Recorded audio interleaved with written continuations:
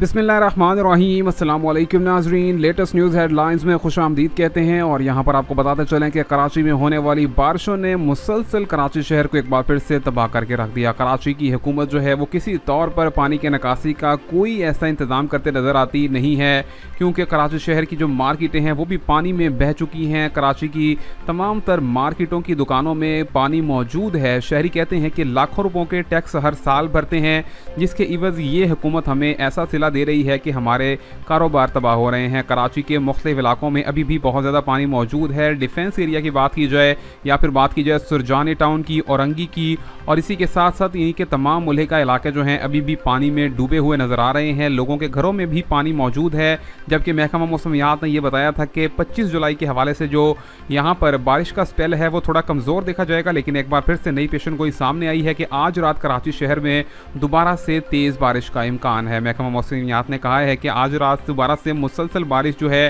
वो कराची शहर का रुख कर सकती है। नब्बे फ़ीसद इम्कान बारिश के ज़ाहिर किए गए हैं और मजीद मौसमियाती तबीन से हमारे साथ जुड़े रहिए। सब्सक्राइब, लाइक और शेयर करना मत भूलिए। अपने इलाके का अहवाल कमेंट्स में ज़रूर बताइएगा।